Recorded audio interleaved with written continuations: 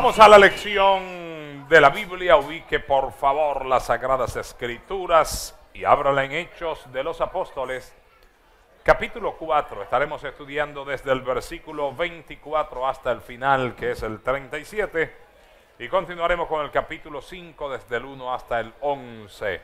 Hechos de los Apóstoles, capítulo 4, versículo 24 en adelante. Maher Vance nos da lectura a la palabra de Dios. Y leemos con la bendición del Padre, del Hijo y del Espíritu Santo de Dios. Amén, amén.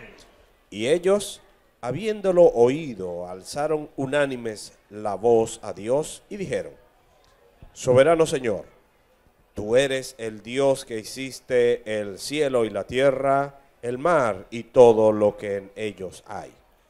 Que por boca de David, tu siervo, dijiste, ¿por qué se amotinan las gentes y los pueblos piensan cosas vanas? Se reunieron los reyes de la tierra y los príncipes se juntaron en uno contra el Señor y contra su Cristo. Porque verdaderamente se unieron en esta ciudad contra tu santo Hijo Jesús, a quien ungiste, Herodes y Poncio Pilato, con los gentiles y el pueblo de Israel, para hacer cuanto tu mano y tu consejo habían antes determinado que sucediera. Y ahora, Señor, mira sus amenazas y concede a tus siervos que con todo denuedo hablen tu palabra. Mientras extiendes tu mano para que se hagan sanidades y señales y prodigios mediante el nombre de tu santo Hijo Jesús. Cuando hubieron orado, el lugar en que estaban congregados tembló y todos fueron llenos del Espíritu Santo y hablaban con denuedo la palabra de Dios. Amén. Y la multitud de los que habían creído era de un corazón y un alma, y ninguno decía ser suyo propio nada de lo que poseía, sino que tenían todas las cosas en común. Y con gran poder los apóstoles daban testimonio de la resurrección del Señor Jesús, y abundante gracia era sobre todos ellos. Así que no había entre ellos ningún necesitado, porque todos los que poseían heredades o casas las vendían y traían el precio de lo vendido y lo ponían a los pies de los apóstoles y se repartía a cada uno según su necesidad. Entonces José, a quien los apóstoles pusieron por sobrenombre Bernabé, que traducido es hijo de consolación, levita, natural de Chipre, como tenía una heredad, la vendió y trajo el precio y lo puso a los pies de los apóstoles. Oremos al Señor. Padre, Gracias, Dios del cielo y de la tierra, tú nos hablas todos los días y hoy hemos leído un hermoso pasaje. Ahora pedimos, Señor, que tú uses los labios de mi Padre, de los pastores que están acá en el Sanedrín, para traernos una palabra revelada, un consejo oportuno, una aplicación práctica de este pasaje a nuestras vidas. Edifica tu iglesia. Queremos oír voz de Dios y no de hombre. En el nombre de tu Hijo Jesucristo, sujetamos nuestros pensamientos a la obediencia a Cristo, a fin de ser perfeccionados. En el nombre de Jesús. Amén y amén. Toda la gloria sea para el Señor. No debemos perder nunca de vista el título de la lección. Aquí dice, los creyentes piden confianza y valor. Oiga, los creyentes piden confianza Y valor. y valor. ¿Qué pide usted cuando dobla sus rodillas? Cada vez que se presenta delante del Señor, ¿qué pide usted? Hay gente que tienen una lista larga, larga, larga, larga, larga de oraciones. Y a veces les lleva, mire, más de una hora para sacar la lista completa. Aquí estaban los hermanos en una situación difícil. Acaban de soltar a Pedro y a Juan. Y ellos, amados hermanos, se reunieron con la congregación y ellos contaron la amenaza, ellos contaron lo que había sucedido. No es malo pedir, eso no es malo pedir. Usted puede tener una lista larga de peticiones, pero encabece la lista dándole gracias al Señor. Hay que ser agradecido. ¿Cuántas cosas nos ha dado el Señor? Todos los días nos da cosas nuevas. La Biblia dice que cada mañana son nuevas sus misericordias para con nosotros. Esta es una oración especial, extra lista, fuera de la lista de peticiones. Fue una oración de emergencia.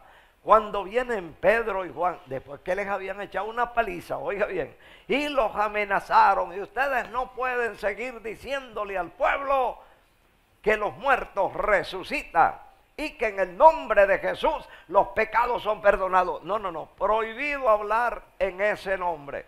Ustedes pueden hablar de María, pueden hablar cualquier otra cosa, pero no mencionen a Jesús porque ustedes nos van a echar el pueblo encima. La gente va a creer que nosotros somos culpables de la muerte de ese hombre. Hermano, se reunieron los discípulos después de oír cómo los habían maltratado. Versículo 24, diga conmigo, ellos habiendo, habiéndolo oído. Ellos habiéndolos oído. Levantaron la voz a Dios. Levantaron la voz a Dios. Unidos, amados hermanos, ellos prorrumpieron en una exclamación al Señor, diga conmigo, y dijeron, en el versículo 24, la tercera línea, ¿cómo dijeron ellos en esa oración espontánea? ¿Cómo dijeron ellos? Soberano Señor, tú eres el Dios que hiciste el cielo y la tierra, el mar y todo lo que en ellos hay. Reconocieron la grandeza de Dios. Soberano Señor, tú eres el que hiciste el cielo, la tierra, los mares, todo lo que hay en ellos. Tú eres el soberano. Tú fuiste el que el que hiciste toda la creación, soberano Señor, que por boca de David tu siervo dijiste, ¿Cómo dijo Dios a través de la boca de David? ¿Por qué se amotinan las gentes y los pueblos piensan cosas vanas? Una pregunta, pero era Dios el que estaba hablando por la boca de David. ¿Tú qué dijiste por la boca de David, tu siervo? ¿Por qué se amotinan las gentes? ¿Por qué se amotinan? Se amotinan los gobiernos, se amotinan las religiones, se amotinan los estudiantes, se amotinan los trabajadores. ¿Por qué se amotinan las gentes? Y los pueblos piensan cosas vanas. Cosas vanas. ¿Por qué? ¿Por qué se amotinan? Mire, la gente se amotina porque no tiene al Señor. Porque el que tiene al Señor no se amotina. Yo nunca me he amotinado contra Dios ni contra nadie.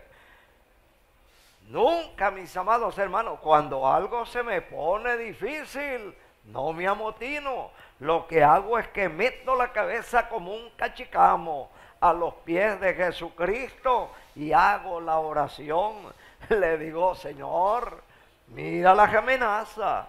Mira esta gente intransigente. Mira esta gente que no quieren dejarnos pasar por Argentina. Y nos quitaron los carros, Señor.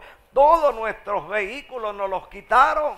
Dios mío, y se burlan de nosotros. Vamos a la presidencia, vamos al ministerio y de donde quiera nos están jugando la pelota. Soberano Señor. Y nos metimos en ayuno y oración y el Señor nos dio una palabra. Y la palabra que el Señor nos dio es, desde temprano les he mandado mi palabra a través de mi profeta y no la han recibido yo pondré esta ciudad en oprobio a los ojos de todas las naciones, me fui a la prensa, entregué por escrito, lo sacaron en la prensa en la mañana y en la tarde y antes de que nosotros saliéramos de Argentina venían 40 barcos de guerra de la Armada inglesa, arremetieron mis amados hermanos contra las Marvinas porque cuando Dios habla,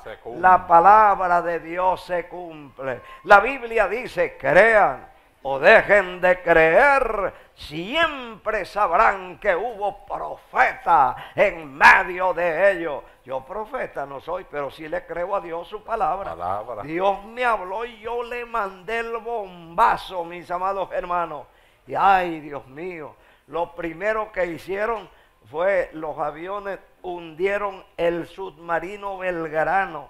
Ay, hermanos, eso se prendió. Yo decía, Dios mío, pero no es para tanto, no es para tanto. Apártese del medio, que voy a pelear yo. La Biblia dice, Jehová peleará por vosotros Y y vosotros estaréis estaréis tranquilos. tranquilos. Es la primera vez que cuento este testimonio. Nunca lo había contado. Nunca se me ocurrió contar este testimonio en ninguna campaña, en ninguna parte. Pero hoy el Señor me saca este testimonio como respuesta de la pregunta. Diga conmigo, ¿por qué se amotinan las gentes? ¿Por qué se amotinan las gentes? Y los pueblos piensan cosas Y vanas. los pueblos piensan Se cosas vanas. reunieron los reyes de la tierra. Se reunieron los reyes de la Y los tierra. príncipes se juntaron en uno Y los príncipes se juntaron en uno contra el Señor contra el Señor y contra su y Cristo. contra su Yo Cristo. pregunto, ¿la gente se amotinó contra el Salvador del mundo o no se amotinó? Sí, se amotinó. ¿Lo condenaron a muerte o no lo condenaron a muerte? Lo Sí, lo condenaron a condenaron. ¿Lo muerte. crucificaron o no lo crucificaron? Sí, lo crucificaron. ¿Murió por nuestros pecados o no murió por nuestros Murió pecados? por Murió nuestros por nuestros La pecados. respuesta está aquí, amados hermanos. ¿Cuándo? ¿Cuándo dijo David eso? Mil años antes de que apareciera el Mesías aquí entre nosotros los humanos. Antes de que el Señor naciera del vientre de María, el Espíritu Santo habló por la boca del rey David. David era un profeta de Dios.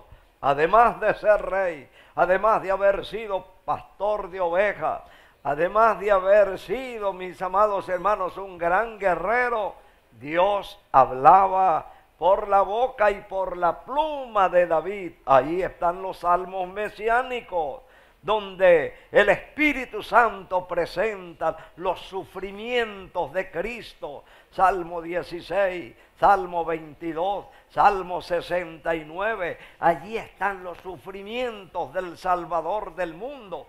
Todo eso lo vio David en el Espíritu.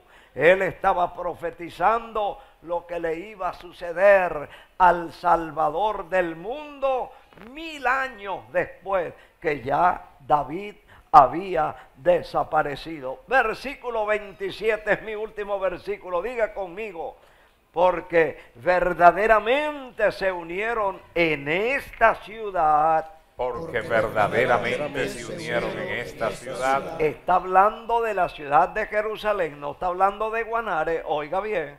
Está hablando de la ciudad de Jerusalén. Diga conmigo, porque ciertamente se reunieron en esta ciudad. Porque verdaderamente se unieron en esta contra tu santo Hijo Jesús, Contra tu santo Hijo Jesús, a quien ungiste. a quien ungiste. ¿Quiénes se unieron contra Jesús? Diga conmigo, Herodes. Herodes y Poncio Pilato y Poncio con Pilato los gentiles con los y gentiles el pueblo de y el Israel. pueblo de Israel. Hermano, la Biblia dice que él tenía que ser despreciado de los hombres, varón de dolores, experimentado en quebranto. Y la Biblia dice, amados hermanos, si en el árbol verde hacen estas cosas, en, En las ramas, ramas secas, secas, ¿qué ¿qué no no harán? Y también dice la escritura, alegraos y gozaos cuando os vituperen, cuando os persigan, cuando digan toda clase de mal contra vosotros, mintiendo, alegraos y gozaos, porque vuestro galardón es grande en los cielos, porque así persiguieron a los profetas que fueron antes de vosotros. Jesucristo dijo, vosotros sois la luz del mundo. Quiere decir que el diablo persigue a lo que es bueno. El diablo no va a perseguir a un borracho. ¿Para qué va a perseguir a un borracho si ese lo tiene metido en el saco? El diablo no va a, perseguir al mentiroso, al chismoso, al sedicioso, al peleador, al estafador, al violador, al drogadicto, al traficante. ¿Para qué lo va a perseguir? Si ese lo tiene agazapado, ya lo tiene en su garra. Él va a perseguir los que hemos escapado de las tinieblas y estamos en la luz admirable del Salvador del mundo. Por eso, mi hermano, mi consejo para ti, no te, no te amilanes cuando, cuando te critiquen, cuando te difamen, cuando murmuren contra ti, cuando por envidia te entreguen, te pongan, te quiten. Gózate delante del Señor antes te tenían miedo porque eras un gran peleador. Ahora se burlan de ti. Pues gózate porque el Señor está en nosotros y con nosotros. El diablo persigue lo que le pertenece al Señor. El diablo nunca va a perseguir lo que él tiene entre las garras. Si tú te entregaste al Señor y estás sufriendo, Alégrate, bendice al Señor. Gracias, mi rey. Tú me has escogido como parte de la familia de Dios. Por eso el mundo nos aborrece. La Biblia dice, si fueras del mundo, el mundo amaría lo suyo. Mas porque no soy del mundo, antes yo os elegí del mundo, por eso os aborrece el mundo. Es una señal que somos hijos de Dios, que vamos hacia el cielo, a la patria celestial.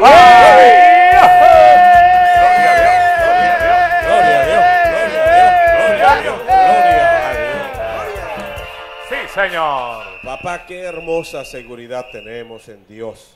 Que aunque se una quien se una, aquí en la tierra, incluso las huestes espirituales de maldad, se unen contra los hijos de Dios, tenemos un Dios que es poderoso.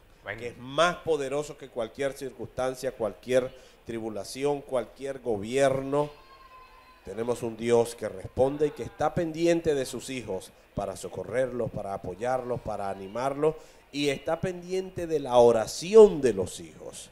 Oiga bien, aquí eh, eh, los apóstoles del Señor, ellos se unieron en oración, un clamor a Dios directo. No tenían que pasar por ninguna alcabala, no, ellos clamaron a Dios y usaron la palabra de Dios, las promesas de Dios, lo que está escrito, hermano. Esa es la oración que Dios responde, la oración donde nosotros tomamos a Dios por su palabra. Ellos se unieron en oración y citaron versículos de la Biblia. Qué hermoso es orar, hablando con Dios, hablando con sus palabras, sus propias palabras de Él. Y, ellos dicen en el versículo 27, me corresponde a mí del 28, 29 y 30, pero hay una coma allí. Entonces dice, porque verdaderamente, dicen ellos en la oración, verdaderamente se unieron en esta ciudad. Recuerda que estaban en Jerusalén Jerusalén, el epicentro, eh, el, lugar donde crucificaron a Jesús unos días antes, un par de meses antes a este acontecimiento. Entonces, eh, ellos están allí orándole al Señor eh, en una llamada local, vamos a decirlo así. Le dicen, se unieron en esta ciudad contra tu santo Hijo Jesús, a quien ungiste. Herodes se unió, Poncio Pilato se unió con los gentiles y el pueblo de Israel ¿Para qué se unieron? Para hacer cuanto tu mano y tu consejo habían antes determinado que sucediera. O sea, aquella gente se unieron para cumplir la determinación de Dios. Poncio Pilato, Herodes, los gentiles que estaban allí, los judíos, el pueblo que asusaba y que decía, no, suéltennos a Barrabás y crucifiquen a ese varón justo. Suéltennos al malandro, al ladrón, al sádico, al asesino, pero crucifiquen al que nos dio de comer, crucifiquen al que levantó a los, a los paralíticos, crucifiquen a ese Jesús que vino a predicar el amor, el amor a Dios, el amor hacia el, hacia el prójimo. A ese crucifíquenlo. No se preocupen que sea su sangre sobre nosotros, dijeron ellos allí en esa ciudad pero dice algo muy poderoso en este versículo, que se unieron para hacer todo cuanto Dios había determinado que sucediera. Hermano, tu vida, mi vida está en las manos del Señor. Dios ha determinado que te irá bien, porque dice la Biblia, decid al justo que le irá bien. Dios, Gloria a Dios. Gloria a Dios. gloria a Dios, gloria a Dios, gloria a Dios. Cielito, alégrate en el Te Señor. irá bien, cielito. Te irá bien, te irá Te bien. irá bien, cielote. Amén. Te irá bien, Venezuela. Amén. Bien. Dice la Biblia, dice mi Biblia, y escudriñe la suya, quizás dice lo mismo. Dice mi Biblia que Dios está con nosotros todos los días y hasta el fin del mundo. Eso quiere decir que tengo una compañía poderosa y maravillosa. Tengo un Dios que me respalda. Tengo un Dios que todo lo puede. Me da todo lo que necesito. Me provee conforme a sus riquezas en gloria. Tengo a un Dios que es mi pastor y nada me faltará. Tengo a un Dios que me respalda. Tengo a un Dios que me oye. Tengo a un Dios que me ve. Tengo a un Dios que me cuida. Hermano, ¿quién me separará del amor de Cristo? Ni hambre, ni desnudez, ni terremoto, ni tribulación, ni nada que se... eh, que, que se semeje a eso, me separará del amor de Cristo, porque Dios me ama, Dios te ama, Dios nos ama y entregó a su Hijo Jesucristo. Él ya lo había determinado. Dios destruyó al mundo cuando Noé lo destruyó bajo las aguas. Pero entonces Dios miró la humanidad y dijo, ya no voy a destruir, no voy a volver a destruir al mundo, a la humanidad con las aguas. Por eso vemos el arco iris. Esa es la señal del pacto de Dios con Noé. Luego sucedieron cosas y volvieron a eh, eh, eh, nosotros, volvimos a pecar. La humanidad volvió a caer y a andar de espaldas a Dios. Eh, Sodoma y Gomorra, el Señor lo destruyó con fuego y azufre. Y hemos estado en ese lugar más bajo de la tierra, en esa depresión, en ese sitio donde está el mar salado, el mar muerto. Allí vamos eh, eh, eh, caminando tras las huellas del Mesías. Y nos damos cuenta que Dios aún tiene misericordia de la humanidad. Envió a su Hijo Jesucristo porque había determinado desde antes que tú nacieras, el Señor determinó que tú tienes que ser salvo, que tenías que, que venir Jesucristo para darnos vida, vida en abundancia, para darnos su amor, para traer la salvación a nuestra humanidad. Entonces Dios había determinado todo lo que iba a suceder en Jesucristo y lo anunció a través de los profetas. Dice, y ahora Señor, continúan los apóstoles. Me imagino que el apóstol Pedro tomó la batuta de esta oración y dice, y ahora Señor, mira sus amenazas. Recuerda que ellos los, los pusieron en la cárcel, se reunió la familia de los sumos sacerdotes, Anás, Caifás, eso lo estudiamos ayer, lo vimos ayer, y los intimaron para que no predicaran el Evangelio. Quizás a ti también te ha sucedido. Quizás el alcalde, el gobernador o qué, qué, sé yo, te ha dicho, mira, no, aquí no vas a predicar. El brujo del barrio te ha dicho, no, aquí tú no vengas a predicar el Evangelio. Aquí queremos vivir así, para adelante. No queremos oír la voz de Dios, no queremos oír la palabra de Dios. Lo mismo le hicieron a los apóstoles del Señor. Pero ellos no se pusieron a pelear con la gente. Ellos vieron e hicieron la guerra espiritual. Ellos tomaron las armas que Dios le había entregado, la oración, el ayuno, la vigilia. Hicieron una oración poderosa. Dice, y ahora Señor, mira sus amenazas y concede a tus siervos que con todo denuedo hablen la palabra de Dios. Allí lo importante de este pasaje, de este versículo que nosotros, cuando el mundo nos tira piedra, cuando el, el, enemigo usa sus artimañas para amenazarnos y querer detener la obra de Dios, nosotros tenemos que tocar el cielo.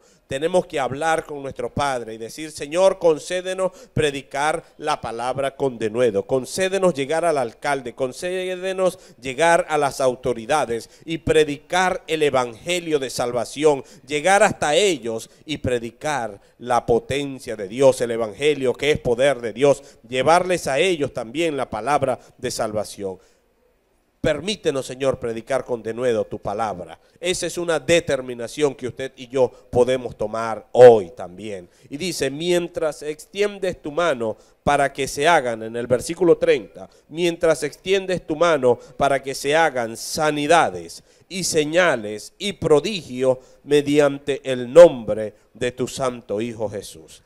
La palabra dice, estas señales seguirán a los que creen. En mi nombre echarán fuera demonios y si bebieren cosa mortífera no les hará daño. Sobre los enfermos pondrán las manos y los enfermos sanarán. Cuando nosotros predicamos la palabra de Dios con denuedo, con la autoridad de Dios, cuando nos conectamos con el cielo para que el reino de Dios se haga presente, mira, las señales y los milagros nos seguirán a nosotros. Donde usted quiera que usted vaya, usted pone las manos y hay prosperidad, hay sanidad, hay vida. Usted puede declarar con su palabra, palabra de bendición. Usted puede decretar con su palabra el rompimiento del reino de las tinieblas y la restauración del reino de Dios. Y eso sucede donde quiera que llega un hijo de Dios, cargado con el poder del Señor, lleno del Espíritu Santo, conectado con el cielo. Allí hay respaldo de Dios.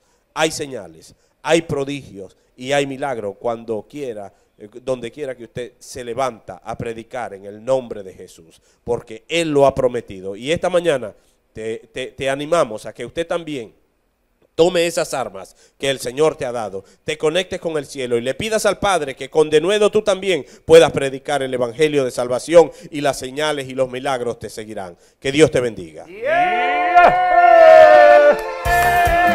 Gloria a Dios, gloria a Dios, gloria a Dios, gloria a Dios, gloria a Dios. Cielito, diga conmigo, Señor, Señor, Señor. Concédenos, concédenos, que hablemos tu palabra, que hablemos tu palabra. Con autoridad, con, autoridad, mientras, mientras tú, tú extiendes tu mano. Para que se hagan para que se hagan prodigios, milagros señales, sanidades, crecimiento, crecimiento, nos entregue los barcos, nos entregue los barcos, los satélites, los satélites, nos entregue los las naciones. Amén.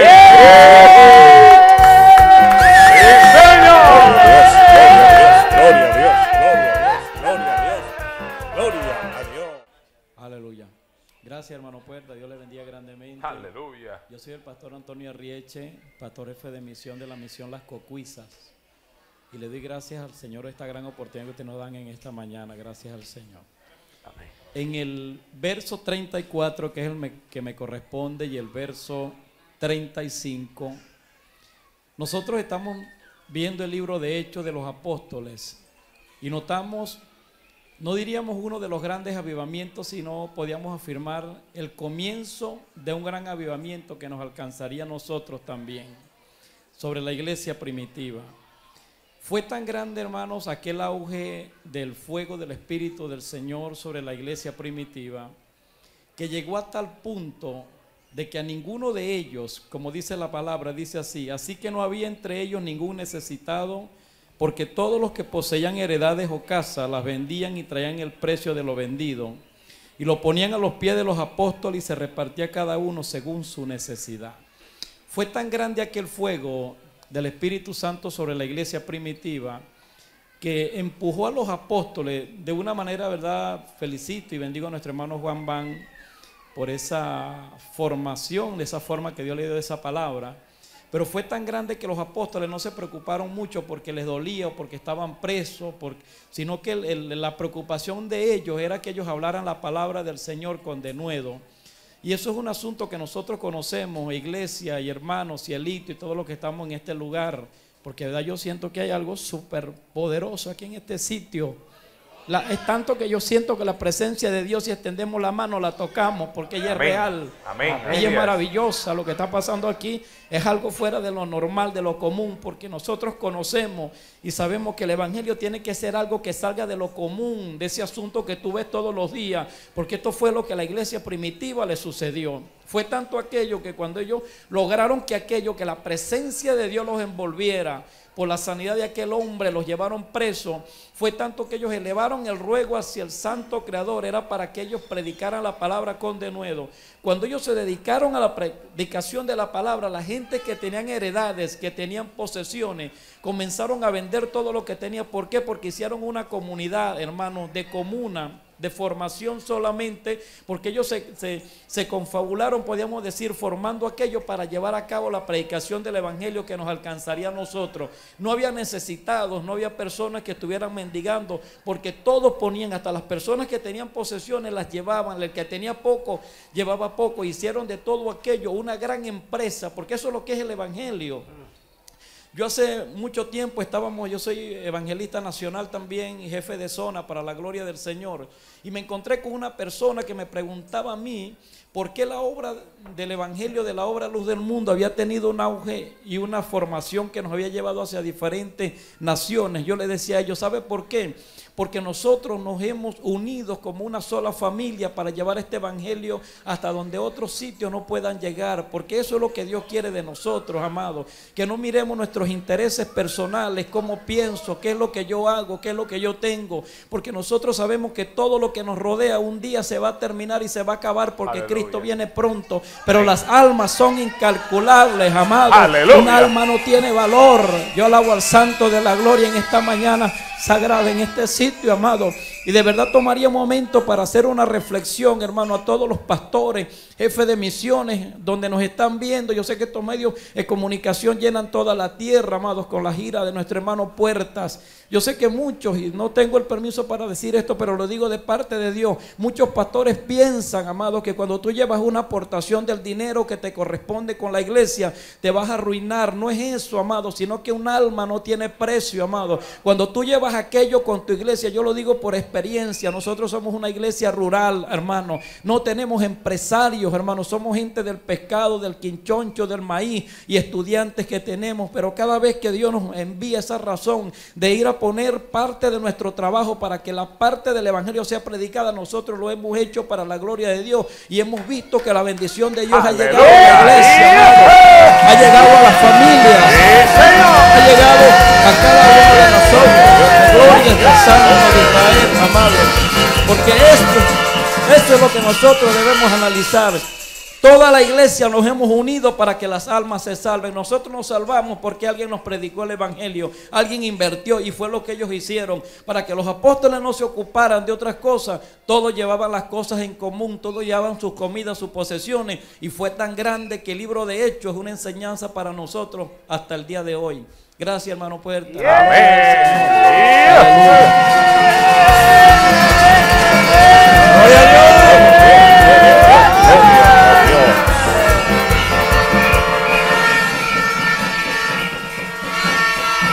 Ayer nos visitó, ayer nos visitó la iglesia Maranata. Vino su pastor general, nuestro hermano Javier Bertuzzi. Compartimos la palabra de Dios con sencillez como en la iglesia primitiva. Y una de las cosas que me llamó mucho, mucho la atención es que nosotros somos alegres y ellos son alegres también. Ah, y ellos decían, nos sentimos como si estuviéramos allá en nuestra iglesia. Nosotros decimos, bueno, nos sentimos también como si estuviéramos allá con ustedes, porque Dios no cambia. Así como los dedos de la mano, uno gordo, pequeño, grande, largo, pero todos nos duelen, todos los sentimos, todos los necesitamos. Así es el cuerpo de Jesucristo. La gente ya no se preocupaba, hermano, por otra cosa. Solamente buscaban el rostro de Dios y el deseo de predicar con autoridad. De nuevo significa con autoridad. No predicar un evangelio, hermano, como de mala gana. Bueno, Vamos a ver si hay alguno que se quiere entregar al Señor. Pobrecito el Señor. Miren al Señor tan flaquito, flaquito, con las manitos clavadas en, un, en una crucecita. Miren al hermano, no predique ese evangelio aguado use autoridad, use de nuevo. Jesucristo no es un pobre Cristo, es el Rey de Reyes, el Señor de Señores, el Hijo de Dios. Así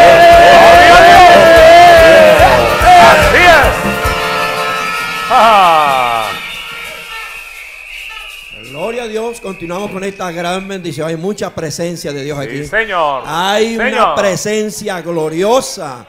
Y es que lo que provoca es gritar aquí, ciertamente. Veramente, gloria de Dios en este lugar. Y continuamos, y esto es una gran enseñanza. Y verá que cada vez que vengo a la Pauca aquí me lleva una gran bendición. Son cosas grandes que vale la pena el esfuerzo, vale la pena todo lo que podamos hacer, porque la bendición del Señor es la que enriquece.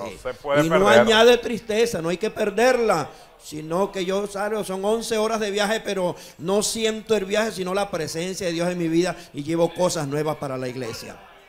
Esta gran enseñanza cómo hace, eh, qué poderoso es el Evangelio, cómo cambia la mentalidad, los pensamientos del hombre y de la mujer para hacerlos conforme a la imagen de Jesucristo. Porque eso lo que hubo ahí en la iglesia primitiva, un cambio total.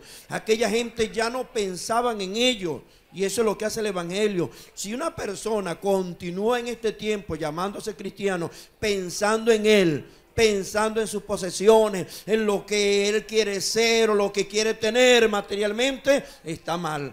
Este es el momento de que todo aquel que tiene a Cristo piense como Cristo, ande como Cristo, hable como Cristo y ame como Cristo amó. Amén. La palabra del Señor dice aquí, en el eh, versículo 36, me toque el 37. Entonces José, a quien los apóstoles pusieron por sobrenombre Bernabé, que traducido es hijo de consolación, levita natural de Chipre, como tenía una heredad, la vendió y trajo el precio y lo puso a los pies de los apóstoles. Mire el poder de Dios, lo que hace el Evangelio, el Espíritu Santo. Ya no hay mezquindad. Pablo dice, mas no vivo yo, mas vive Cristo en mí. Y lo que vivo en la carne, lo vivo para el Hijo de Dios que en la cruz se dio por mí. Somos nueva criatura. Y aquí hasta el nombre, yo puedo llamarme Alberto, Juan, el otro tiene su nombre, pero si hacemos la voluntad de Dios y tenemos un corazón dadivoso, todos vamos a ser llamados hijos de consolación. Este hombre, los apóstoles, debido a, su, a sus dádivas, su corazón dadivoso, que ayudaba al necesitado, a la viuda, al huérfano, estaba pendiente de las necesidades de los demás, ellos le cambiaron el nombre, le pusieron Bernabé, que traducido es hijo de consolación, porque era un hombre dado para consolar, para ayudar, para levantar al caído, y ese es el llamado de la iglesia de Cristo en estos días. Este es el llamado de los pastores, por Dios. Este es el llamado a los evangelistas, a todo aquel que ha recibido a Cristo en su corazón. Llevar una palabra de consuelo, meterse en los barrios, meterse donde está la necesidad. Hay gente que lo que busca es el puro centro, lo que busca es donde están esa, eh, la gente pudiente. Es bueno también, todos necesitan, pero en los barrios, en las veredas, en esos eh, ranchos que están cayéndose por ahí, hay gente necesitada. Aleluya. Hay gente en la iglesia que necesita como decía el hermano Juan, verá que la cesta de amor, ¿para qué es la cesta de amor? Para esa gente que en la iglesia tenemos necesitada. Cristo dijo a los pobres, siempre los van a tener. Entonces es necesario que nosotros tengamos para compartir con ellos y también llevar el evangelio, como decía mi hermano también con la gira el hermano Puerta, con la ofrenda misionera. Mire, el hermano Gonzalo que, que congrega en mi iglesia me contaba allí en Haití y me decía ciertamente, pastor, qué gran necesidad hay ahí. Y cómo, verá, me vine con otra mentalidad de trabajar juntamente con usted por la ofrenda misionera, que en ese lugar y muchos lugares la están necesitando. Eso es llevar consuelo, eso es llevar ayuda a todo aquel que la necesita. Gloria a Dios, gloria a Dios, gloria a Dios, gloria a Dios. Gloria a Dios. Para terminar, ¿Qué estamos haciendo en estos matutinos? Llevando palabra de consolación a los cinco continentes. Aquí todos somos llamados hijos de consolación. La palabra por toda Venezuela, por todos los países, a los cinco continentes, no se detiene porque los hijos de consolación desde el matutino y enviamos esa palabra para que cada necesitado la reciba en el nombre de Cristo. Dios te bendiga, Dios te guarde. Gloria a Dios, gloria a Dios, gloria a Dios. Gloria a Dios. Gloria al